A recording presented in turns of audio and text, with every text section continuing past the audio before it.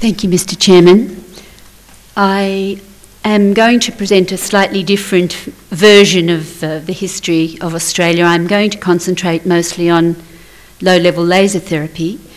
Uh, this is partly because laser surgery is very widely accepted. It's almost taken for granted that laser surgery will be part of the whole practice of medicine, whereas la- low level laser therapy is still very controversial, and that's why I have um, on my slide several of the descriptors that will give some insight into where the situation is in Australia. There are conflicts, there are contradictions, there are conundrums, there's confusion, uh, but we also have some congratulations as well. It isn't all that bad. The history probably is focused in 1994 on the fact that our National Health and Medical Research Council published a, uh, a statement saying that uh, LLT is a modality whose effectiveness is unproven and that it is the responsibility of those using the therapy to provide the evidence. And this really has set the tone for the lack of acceptance of LLLT in Australia, really from that time on. It is generally not accepted at tertiary level medicine and so we have several historical issues in Australia that we're dealing with because of that particular publication. And it relates to the regulation of laser therapy practice, to the issues around education and about communication amongst people who are practicing and using low level laser therapy. I might also add, which I haven't there, are legal ramifications. Uh, we are second only to New York in Australia and in Sydney in particular to um, medico legal, uh, I suppose, medico legal challenges on medical practice. So most doctors practice very defensively in Australia. Uh, as I said, coming second, and, and in some of the data, actually more, um, more than the US. We are really uh, having to watch ourselves a lot of the time. Now, with regard to regulation, the Therapeutic Goods Administration, which is the organisation that uh, published the review of laser therapy in 1994, registers devices for use, and in particular advertising claims for laser devices. And the situation in Australia is, is such that nobody can sell a laser and make any claims for that laser unless it's based in evidence, which means that there are very, very few low level laser therapies available in Australia. One has to import them for what is called personal use only, and this is equivalent to using off, off label drug therapies. So one takes a degree of risk by using lasers for which there is no indication on the register. The uh, Therapeutic Goods Administration also develops guidelines for practice, uh, and this is not related to the evidence for efficacy, but it is related mostly to the safety aspects, and it applies mostly to Class 3B and Class 4 lasers.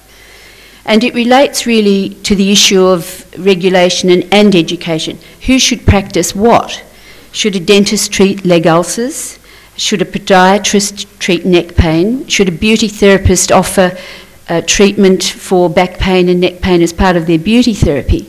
So we have these uh, issues about regulation uh, completely unresolved, and that's part of the conflict within the Australian system. And this is, part, this is also some of the contradictions. In Queensland, these, these are the states, as you can see, in Queensland, there is reg- regulation for uh, uh Class 3B and Class 4, which requires owners and users to have licenses. It requires laser registration and laser room registration. But in New South Wales, there's absolutely no registration at all. So you can pretty much do anything you want. Anybody can go out and buy a laser and use it, even uh, uh, given that there are guidelines for the use of uh, safety aspects of the laser, but there is no accreditation process. Um, and I will show you one of the conundrums shortly. And in Victoria, there's no certification. So if you want to bring a laser in and you want to treat anybody or a patient can buy it, you can do it yourself. Tasmania requires certification for uh, users of laser. South Australia, there's no certification. Western Australia also requires laser users to uh, have an accreditation exam, 3B and 4 and the Northern Territory, no certification. So you can see there's a complete lack of consistency, another C that I should have put on my list across the regulation in the country. A contradiction, though, and a conundrum is that in New South Wales, a laser pointer above one milliwatt requires a firearms um, uh, license, and it costs $122 to carry a laser point of more than one milliwatt. Um, and this is because lasers have been shone at aeroplanes and into train drivers' eyes, and um, and uh, people use them to identify. Um, it, muggers will use them to identify a person who has money uh, with a partner who goes then and attacks them without being seen. So these are illegal weapons in New South Wales, but you can actually go and buy a, a 500 milliwatt laser with no problem at all. Uh, education is an issue, and at the moment there is an, a vacuum in Australia as far as education goes. I should say that it's appropriate that I'm almost at the end of the, the, session because we are certainly one of the youngest countries in the world with one of the smallest populations per square kilometre. So uh, we, we have the least history, one might say. Uh, so we have a vacuum. There are ad hoc courses by some societies and organisations. Uh, there is one industry level course, um, but there is a conflict of interest when uh, organisations and industries run courses and sell their lasers, and that presents problems for us. Um, Penny Smalley isn't here, but Penny Smalley has been one of the most influential people in contributing to education of laser safety in hospitals.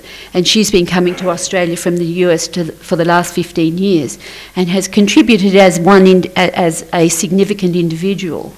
But we are still concerned about who should teach what to whom. We have beauty therapists teaching doctors and physiotherapists. Uh, we have uh, acupuncturists teaching relatively high level laser therapy. So we have significant problems for which we must write our own history. So, in spite of all these problems, we have all these laser groups using lasers in some way or another.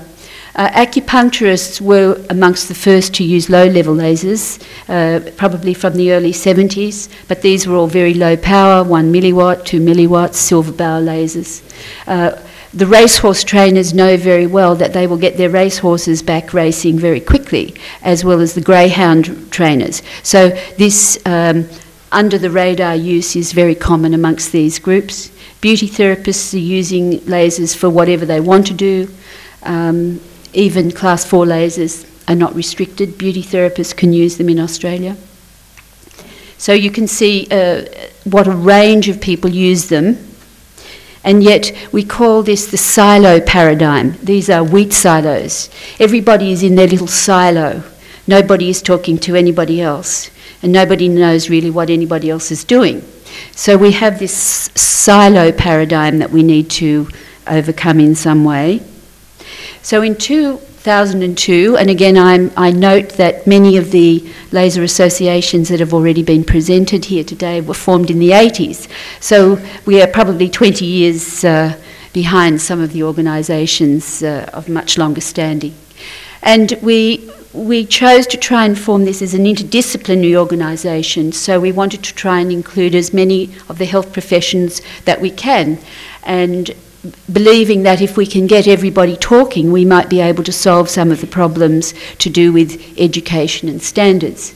So we were we formed in order to promote and encourage and provide for the advancement and effective regulation and practice of laser medicine, and to advance the interest and protect the uh, to advance and protect the interests of persons engaged in the pursuit and practice of laser medicine, etc., and to improve the general standard of practice. And there are other aims at our website. But uh, this organisation is trying to put some consistency and reduce the confusion and the conflicts uh, of laser practice in Australia of low level laser therapy. However, there are some signs where there is um, congratulations to be to be given. Um, Professor Neil Piller from Flinders University in, in Adelaide has the largest group that has uh, undertaken the study of uh, post-mastectomy lymphedema. They have now 10,000 patients. This is the only, I believe, the only uh, university in the world that has done such in-depth uh, study and uh, he, uh, Neil Piller is constantly publishing in this area and Australia has led the way this is an Australian specialty, you might say. And in fact, uh, as a result of this work, uh, the world's first laser for the treatment of lymphedema, post-mastectomy lymphedema, has been registered with the US FDA. And uh, that was, um, I think, uh, two years ago. And they've completed the only randomised double-blind uh, uh, trial of this 904 nanometer laser for the treatment of lymphedema and uh, it's actually sold for personal use for the patients to treat themselves as well. Uh, another area is uh, Dr. Lisa Laakso, who's a physiotherapist at Griffiths University, uh, which is in Queensland. She was one of the first physiotherapists, in, in fact, probably the first physiotherapist who completed a PhD in laser therapy in 1994. So she was a trailblazer. Some of you might remember her work on beta endorphins uh, and uh, that is her one of her areas, and she is looking into breast cancer uh, and the oncology uh, of low-level laser therapy and its effects. Uh, our unit at the um, Sydney University, the Brain and Mind Research Institute and the Nerve Research, uh, Research Foundation received a government grant last year uh, of um, 300 plus thousand dollars to investigate the effects of lasers on nerves, and uh, we were one of the first groups ever to be given a grant for this. And we're continuing this work looking at how the effects of lasers on nerves are implicated in the relief of pain. These are the dorsal root ganglion neurons. This is one of the areas we are working in. And the University of Melbourne uh, recently received a grant to study the uh, laser acupuncture in knee osteoarthritis, and they have a grant uh, for $700,000 that will take uh, three years, and that is specifically looking in that area. Um, so the goals for us in AMLA is, is, really to create our own history. We have no um, international conferences at this stage, and we, of course, are aiming to improve interdisciplinary communication and develop guidelines for scope of practice and to standardise education and regulation across the states to promote research and to develop guidelines for appropriate relationships with industry. So we are protected and we, we maintain evidence-based practice rather than eminence-based practice. So we have a lot of work to do. Thank you very much.